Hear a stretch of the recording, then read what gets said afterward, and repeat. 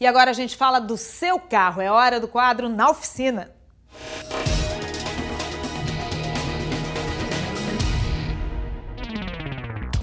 Olá pessoal, tudo bem? Estamos começando mais um na oficina e hoje nós vamos falar com você que já comprou um carro usado ou está pensando em comprar um.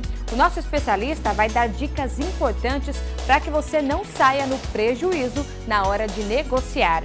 Bom, o primeiro passo para quem vai comprar um carro usado é levar o veículo num especialista para que ele verifique se alguns itens estão em bom estado.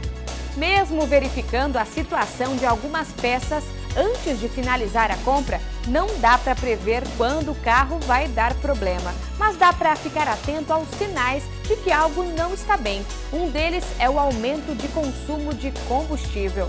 Agora o Lucas Lima vai explicar quais são as primeiras peças que precisam ser trocadas por quem comprar um carro de segunda mão.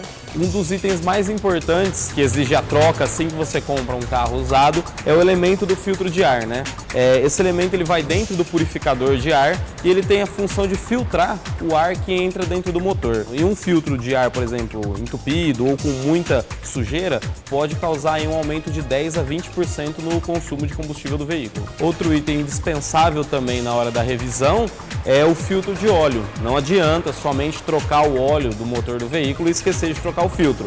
Afinal, todas as partículas, todas as impurezas do óleo antigo ficam alojadas aqui dentro. Outro item de extrema importância para o bom funcionamento do veículo é o filtro de combustível, que também tem a função, como o próprio nome já diz, de filtrar, só que no caso dele ele filtra o combustível. Existe um outro filtro, conhecido como filtro de cabine, comum, algumas pessoas também conhecem como filtro do ar-condicionado, que exige atenção e exige troca também.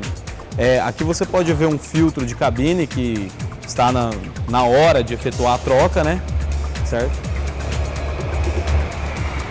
E é aqui um filtro que nunca foi trocado. Vamos saber então quanto custa os filtros que precisam ser trocados? Um filtro de óleo, por exemplo, por um carro popular, está custando na faixa de 30 a 40 reais. Um elemento filtro de ar, por exemplo, está custando na faixa de 15, 30 até 50 reais para carros populares. O filtro de combustível também, 20 a 40 reais para carros populares também. Além dos filtros que o Lucas Lima explicou, tem mais peças que precisam de uma atenção especial se o carro que você comprar já for usado. Escapamento também é um item que precisa de atenção.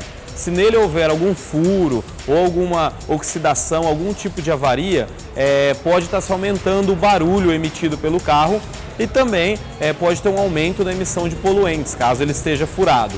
É, o catalisador também é um item que tem que você precisa ter uma atenção especial. Um catalisador entupido, por exemplo, pode também acarretar o aumento do consumo de combustível em até 20%. Bom, essas foram as dicas do Na Oficina de hoje. Não esqueça que a gente também está na internet. É só acessar o nosso portal, o sbtinterior.com e eu te espero na semana que vem aqui no SBT Interior, primeira edição, a partir das 11h20 da manhã, porque aqui você fica sempre bem com seu carro. Até a próxima!